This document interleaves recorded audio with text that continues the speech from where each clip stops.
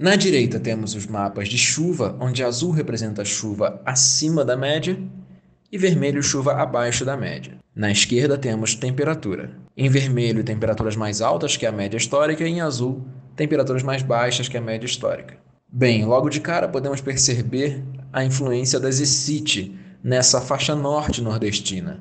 A Zecite já vem ao sul da sua posição normal por bastante tempo nesse primeiro trimestre de 2020, causando muitas chuvas para essa região.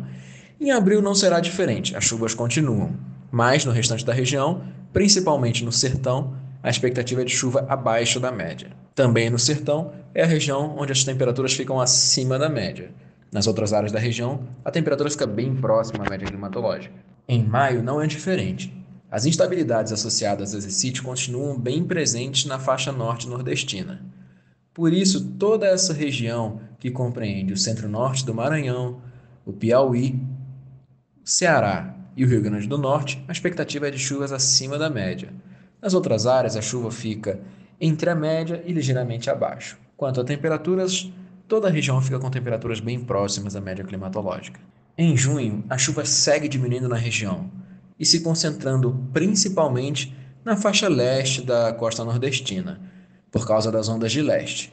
Toda essa região fica com chuvas acima da média, por causa das instabilidades que vêm do oceano. As outras áreas ficam com chuvas bem próximas à média climatológica, que é muito baixa nessa época do ano.